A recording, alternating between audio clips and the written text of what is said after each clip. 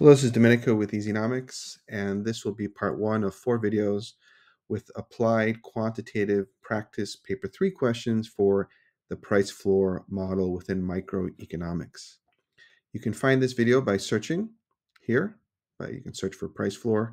You'll see a series of videos uh, regarding price floor models. You can also find it within the playlist for government intervention within microeconomics. Uh, I'll also have linked in this video uh, review videos on calculating the effects of price floors with abstract values and also explanations of the theoretical model. You can also find this video within the dedicated paper 2 3 calculations uh, playlist dedicated towards paper 3 type practice questions and also paper 2 practice questions for standard and higher level. So for our applied example, we're going to look at wheat production in the United States. Here on Wikipedia, we can see a list of countries and the quantity of wheat that's being produced in millions of metric tons, China being the number one producer in 2021, then India, Russia, the United States at 44.8 million metric tons in that year. Okay, so let's go ahead and start tackling these questions. So this video will be focused on answering question A, calculating changes in consumer surplus resulting from the imposition of the price floor. Um, and the second video, we'll look at question B, and the third and fourth video, we'll look at question C. And those will also be linked in the video notes below. So let's go ahead. On a paper three, you could be provided a model like we have here with values on the X and Y axis. Here we have figure one. It illustrates the domestic market for the primary commodity of wheat in the United States. And we notice that on the Y axis, we're measuring price in US dollars per metric ton. And on the x axis, we're measuring the quantity in millions of metric tons per year. Um, and then we're provide this model with the price floor already imposed, and it highlights for us the quantities supplied and demanded al- along with the free market equilibrium price and quantity. So that could be a model that you might see on a paper three exam. So let's go ahead and start tackling question A. On an exam, I would be in the habit of kind of highlighting uh, key terms so that we're clear on what we're supposed to be doing. So here we're going to calculate the change in what? In the consumer surplus as a result of the government imposition of a price floor. So we're going to look at consumer surplus before and after the imposition of the price floor. Before we get started, let's kind of mark a few uh, uh, values here. We have the free market price where supply equals demand. And here it is 200, 1, 2, 3, 4, 5. We're going up by units of 1. So 1, 2, 3. This is 230. So I'm going to mark that. And you should do that on your test. It also highlights um, that to provide income support to wheat farmers and stabilize domestic production, the U.S. central government has imposed a price floor of 290. All right, so we see that here. Here's 290. In addition, we can see that the demand intercept is at 450, 60, 70. So I'll mark that 470 there. And then the y-intercept for the supply curve is 50, 60, 70 right over here. Okay. Let's also mark some quantities. We can see that the free market quantity is at 24. All right, 24 kind of got on top of the 25 there, but it's 24 million metric tons. And then here, the quantity of demand has been reduced to 15, 16, 17, 18. And the quantity supply is increasing to 31 to 33 million metric tons. Perfect. So I would like you to pause the video and try answering question A, and then we'll check your workings with, with mine, and then, uh, and then we'll be at, at the end of the video. So go ahead and pause the video now. All right, so how did you do? Let's go ahead and calculate this. So first, we're going to look at the initial consumer surplus.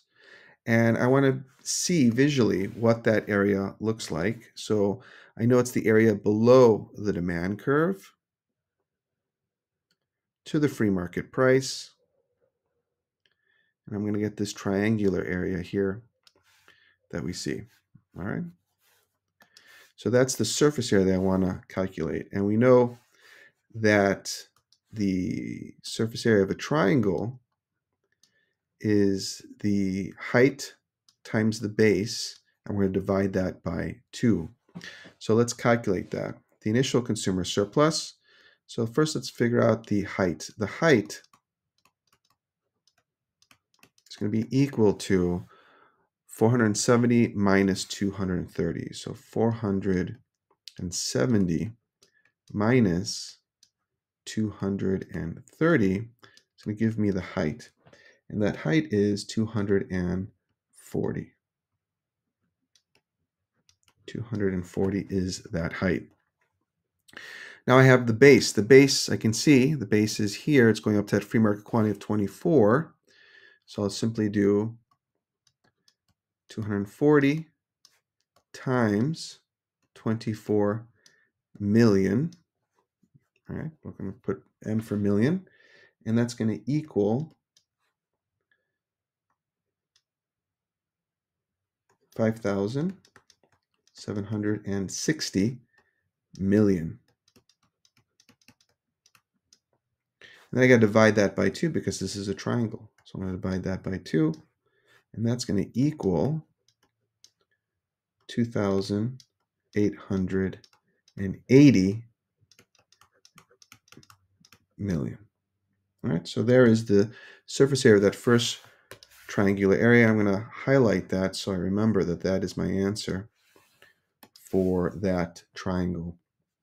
Now I got to figure out the final, the surface area of the final consumer surplus. So I'll use a different color.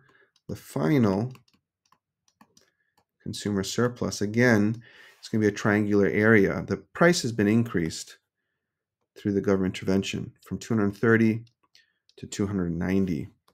And what that does is, just for review, it's going to increase the quantity of supply. It's going to motivate, incentivize producers to increase their production at that higher price while costs of production are held constant.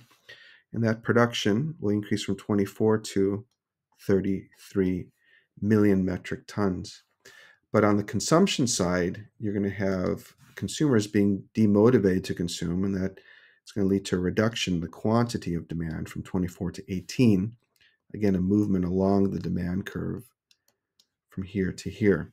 So I can also mark that um, 33 million metric tons is the quantity of supply, and 18 million metric tons is the quantity of demand. And here we have that excess supply in between. So the price has gone up from 230 to 290, and so I'm going to get a reduced surface area for the consumers. Consumer surplus will be reduced because we're paying a higher price, kind of less savings for the consumer. So I follow the demand curve to that new price. Here I see this new triangular area that I'm now going to calculate. So the height for that is going to be equal to, again, 470 is the y-intercept minus the higher price of 290. And that's going to equal 180. Fine, so there's my height. So I'm going to multiply 180 times the base, and the base has now been reduced to 18. So here we have 18 million. So 180 times 18 million is 3,240 million. Divide by 2 because it's a triangle. And so that's going to equal 1,620 million. Okay, and so let's highlight that area. Okay, and what I need to do is figure out the difference between them. So the change, the change in the consumer surplus will be equal to the final value of 1,620 million minus the initial consumer surplus of 2,880 million. And that's going to equal a decreased consumer surplus of minus, put negative, 1,260 million. All right, and that could be my final answer. So I'll highlight that. That would be my final answer, that consumer surplus, the change. Consumers have experienced a reduction in the consumer surplus by 1,260 million. Fine.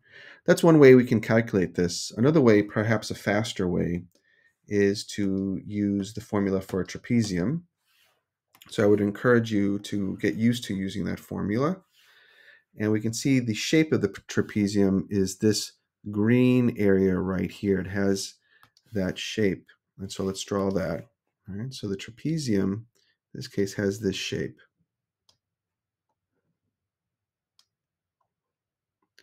And so the formula for that trapezium, here we have uh, sides A and B and the height of C. And so the surface area to calculate that would be equal to um, length A plus B in brackets times the height of C, and we're going to divide that by 2. Okay?